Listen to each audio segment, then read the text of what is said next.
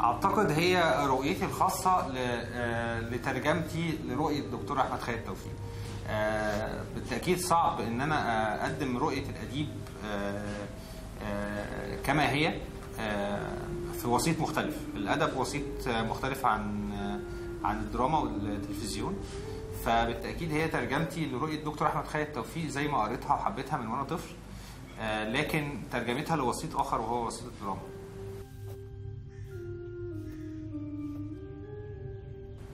أنا ما اعتقدش خالص ان أنا أقدر آه، أو ان أنا كنت اقصد أو أو أو شايف العمل نخبوي. بالعكس أنا شايف العمل آه، على يعني توقعاتي انه يبقى عمل آه، عمل شعبي ويعجب جموع الجمهور مش لمجرد نخبة منه.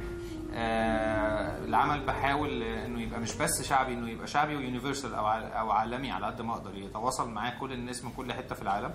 فبحاول على قد ما أقدر يبقى الجمهور العام ومش لجمهور خاص حتى للرعب بس بالعكس بحاول على قد ما أقدر يبقى في عوامل في الدراما تخليه عمل آه، عام جدا مش مش خاص أو لجمهور محدد أو لنخبة محددة.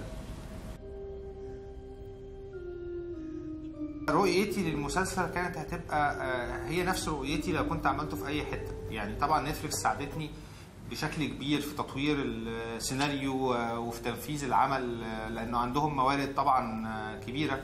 آه، لكن هي رؤيتي هي نفسها رؤيتي مهما كنت بقدمه فين. آه، فهو لو كنت المسلسل ده حتى بقدمه على التلفزيون المصري وكان متوفر لي نفس ال ال الظروف كنت كان طلع نفس المسلسل. فهي في الآخر آه، الرؤية واحدة. يمكن نتفليكس آه، ساعدتني إن ما, ما, يحصلش تنازلات كبيرة زي اللي بتحصل عامة أحيانا في بعض الأعمال. لكن الرؤية هي نفس الرؤية في أي مكان. أنا ما أعتقدش إن أنا أقدر أقول على الإنتاج ما وراء الطبيعه إنه انتاج سخي على قد ما أقدر أقول إن هو إنتاج موزون. يعني هو في الآخر آه، ما وراء الطبيعة كانت آه، مشروع آه، زي أي مشروع ليه ميزانية محددة. مشروع ليه ميزانية ما ينفعش نطلع براها. في الآخر بالتأكيد الميزانية دي مش مش لا نهائية. يعني هي ليها سقف. ففي الآخر إحنا على قد ما نقدر حاولنا جوه الميزانية دي إن إحنا نترجم اللي إحنا عايزين نعمله. وفي أعمال في مصر آه، أعتقد آه، ميزانياتها تشابه ميزانية ما وراء الطبيعة. يعني هو مش مش مش مش مش آه، مش ما أقدرش أقول إن هو السخي أو مفرط في في ال- في الفلوس أو في فلوس آه، بلا داعي. بالعكس كان في وزنة معينة ما بين إن ده كمان أول موسم للمسلسل فلازم يبقى معمول بشكل آه، واعي واقتصادي. ف...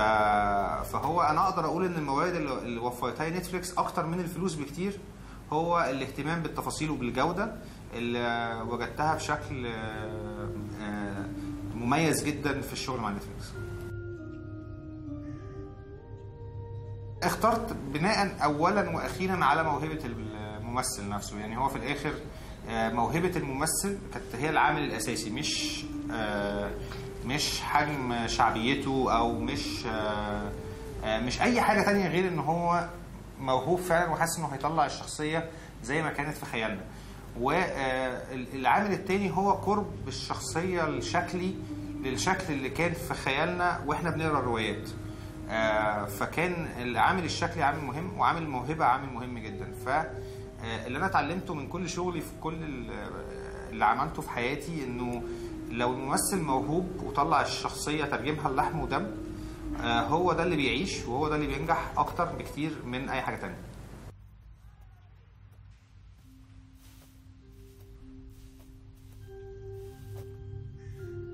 يا رب في الأول تبقى مفاجأة حلوة. اللي خلاني اولا آه، إضافة ليا بكل المعايير يعني. آه، حاجة اولا سلسلة ناجحة جدا حتى أستاذ عمرو سلامة من قبل ما يخرجها وهو من معجبيها أو من عشاقها زي ما بيتقال. مشروع الناس بقالها كتير قوي بتحضر فيه سنين.